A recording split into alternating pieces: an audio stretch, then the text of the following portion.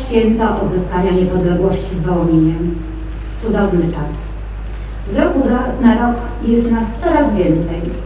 Cieszymy się tym. Cieszymy się też i umiemy dziękować poprzednim pokoleniom, że ta wolność przyszła.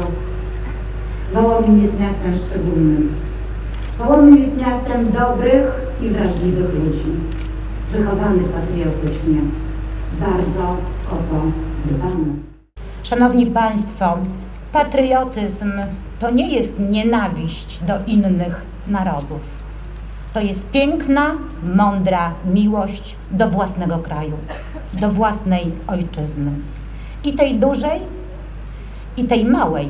Ja jestem dumna, że w Wołominie udaje nam się dużo dobrych, mądrych spraw wspólnie załatwić.